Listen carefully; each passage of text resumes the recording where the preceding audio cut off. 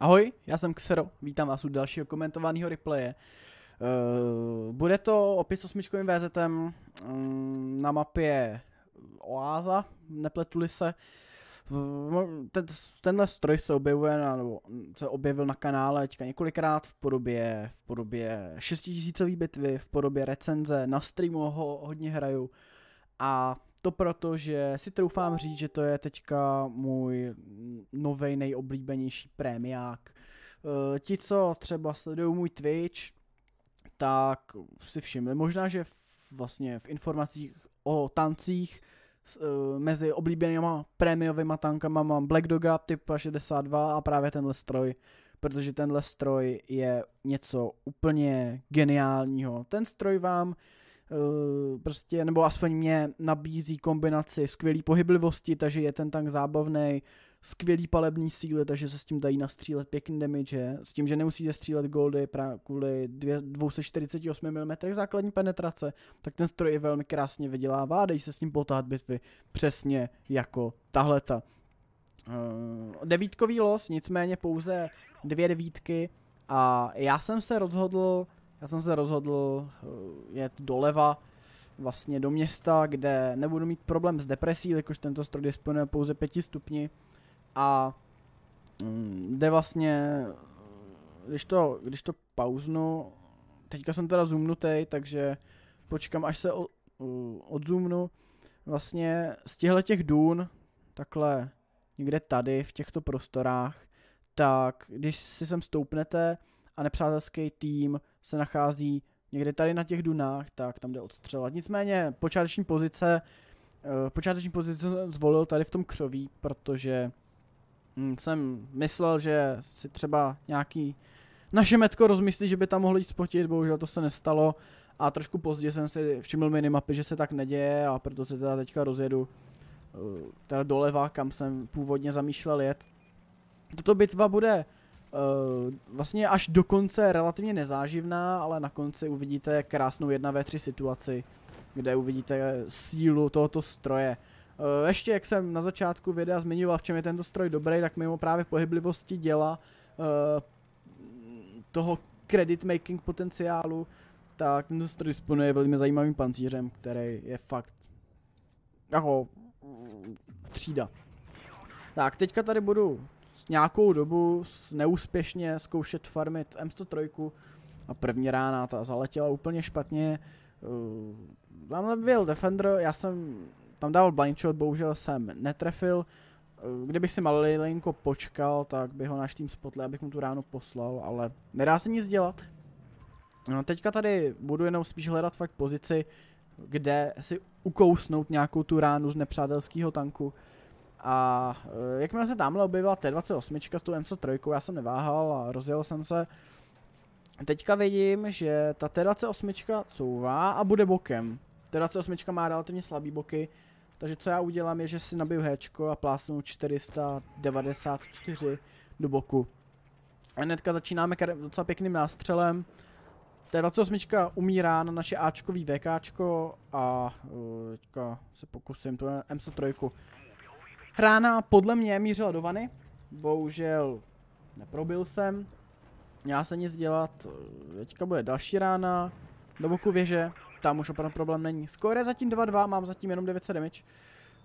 Uh, M103 mě tady cinká. Uh, zkouším heat, heata na předek. 310 penetrace očividně nestačí. Takže nedá se nic dělat. Uh, teďka budu zkoušet kopulku opět heatem. Opět 310 mm penetrace nejspíš opravdu nestačí. No vidíte, že skoro najednou 2 ku 4, máme jenom 3 tanky, oni 5, mají ještě docela, docela hodně HPček. A já teda musím začít eh, konat, konečně. Eh, teďka jim teda umřelo, uh, umřelo jim PTAčko, takže hnedka o něco lepší, když uh, nemají hnedka devítkový metko.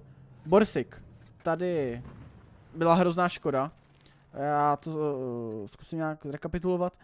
Koukal na mě Borsik, mohl jsem do něj dát ránu, nicméně on zasnul a projížděl to na M103. Pro mě bylo důležitější zabít tu M103, bohužel mu to proletělo vlastně mezi, mezi věží a motorem, tou malou škvírou. Takže to byla dost smula. Každopádně ta M103 tady nebyl to úplně nechytřejší hráč, jel dál a tady jsem se ho dorazil. takže mám teprve jenom 15 damage, uh, ale mám plný HPčka, uh, mám dobrou otevřenou mapu, mám proti sobě jenom osmičky, takže to, co teďka mám v plánu, teďka mám v plánu vlastně jet na tu, jet tam, kde byl Borsik, jet prostě na tu část, kde je poušť, budu doufat, že to, že to STčko tamhle ještě chvilinku ty nepřátelský tanky zdrží, ačkoliv teďka dostal ráno, ale ono tam bude ještě nějakou chvilku žít a právě mě to díky té superové pohyblivosti, kterou tady vidíte, dovolí se rychle přesunout, zabít toho Borsiga a pak si nějak poradit s tou T-34 dvojkou a tím Defenderem. Teďka trošku opět nudná pasáž, jak se přesouvám. Škoda, že v Blitzu nejdou ty rychle zrychlovat, bylo by to docela fajn. A tadyhle mám teda nabitý héčko, protože Borsik jde samozřejmě probít héčkem. Uh, vidíte, že jsem je zmátl docela dobře, Borsik uh, koukal směrem k tomu kepu. Uh, dal jsem krásný roll za 550, on to hýta misnul. A já tady nechci ztrácet čas, protože když budu teďka tady, tak ten, ten Defender a ta 34 dvojka by se mohli rozjet vlastně za mnou a ve třech by mě udolali. Takže já opět využívám pohyblivosti a zkouším opět měnit pozici. To mi usnadnilo ještě to, že někdo věl do kepu, to znamená, já vím, kde, kde jsou minimálně dva tanky, protože Borsik by se za tu krátkou chvíli ne, ne, nestihl dostat na kep a jeden tank kepuje. Podle rychlosti vím, že kepuje jeden tank, takže zatím jedna neznámá, nebo máme tady pouze jeden otazník a to je, kde je jeden z těch jejich tanků a ne oba dva. Takže já tady využiju výškový, výškový převahy, najedu si tady na tu dunu po mý levé straně, teďka se na ní drápu a dekepnu si, logicky, dekepnu si tank, který kepuje, mm, je to 34 dvojka, dám mu ránu, jedu dopředu, uh, nechci ztrácet čas, protože už toho času příliš mnoho nezbývá. Uh, 34 dvojka, chtěl jsem tady dát ránu, bohužel jsem to nestihl. Uh, tamhle je Cinklebor s hitem, uh, ale nejel si tak špatně, že jsem ho chtěl zabít. Uh, 34 dvojka mě probí, má teda malý 100 mm dělo, to znamená, že nabít docela rychle. Já tady musím zabít tu 34 dvojku, schovat se za ní, použít ho jako, ho jako štít. Defender mi teda poslal jednu ránu, tady jsem mu bohužel trefil špatnou část ty štiky, to znamená, že jsem ho neprobil. ale on teďka, pokud se nepletu, tak má pouze dvě rány v zásobníku, což je pro mě dobrý, protože on má mezi ránama 7,5 sekundy, já nabíjím 8.3 a jakmile ten klip vysype, tak nabít 22, takže já pak budu mít spoustu času.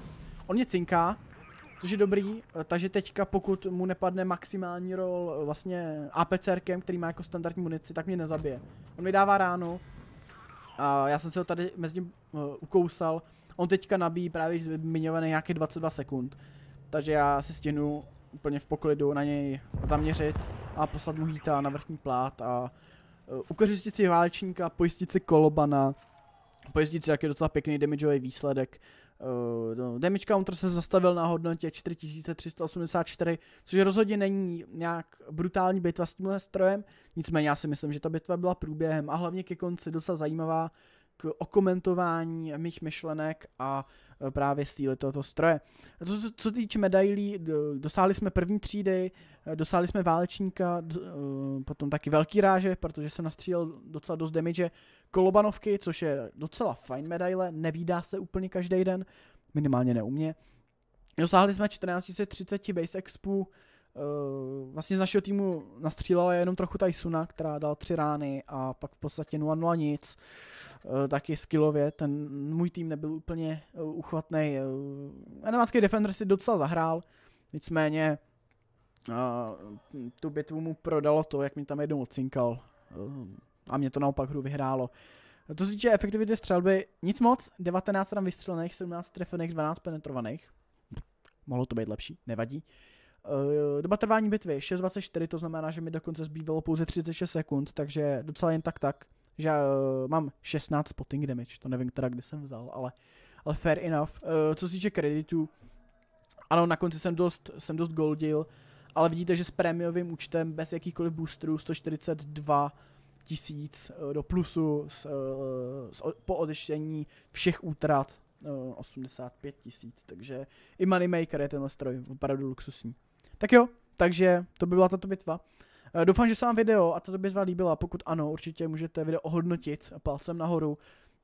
Můžete taky odebírat můj kanál eh, kliknutím na tlačítko odebírat logicky. Aby vám neunikly další videa z mé tvorby, uh, také kliknutím na malý zvoneček vedle tlačítka odebírat.